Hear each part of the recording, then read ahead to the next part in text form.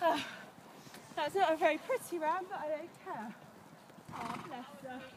That was hard work, though. Charlotte, one on you now.